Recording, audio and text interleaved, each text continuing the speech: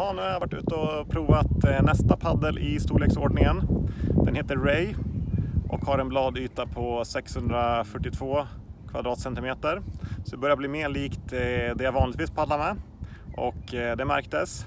Dels var den här paddeln gjord helt i kolfiber också, vilket gör sitt till. Den blir betydligt styvare. Men nu har jag en paddel som greppar riktigt bra i vattnet.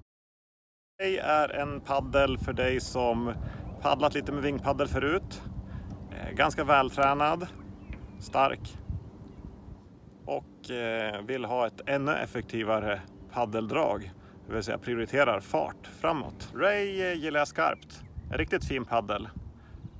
Gick väldigt bra i vattnet och den skulle jag absolut kunna tänka mig att sticka ut och träna ett rejält pass med.